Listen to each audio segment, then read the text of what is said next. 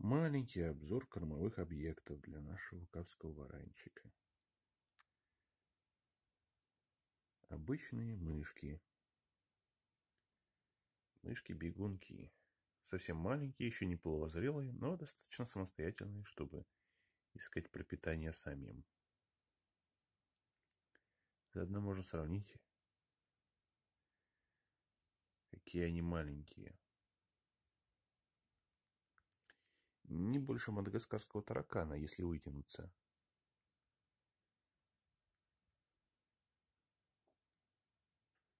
Жаль, фокусировка камеры оставляет желать лучшего. Немножко так двигаются часто, что фокусировка теряется.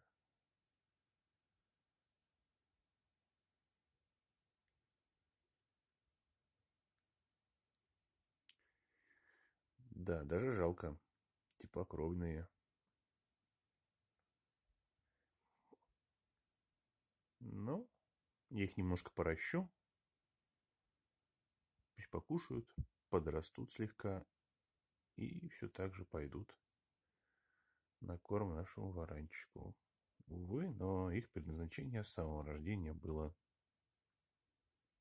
еда, быть пищей для рептилий. Конечно, можно понять всяких хейтеров, которые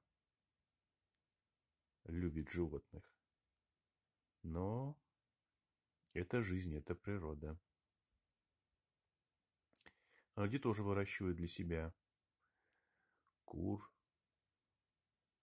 овец, коров, свиней. Все для того, чтобы употребить их в пищу. А сейчас тем более это хозяйство со всякими изысканными блюдами, стейками и прочим.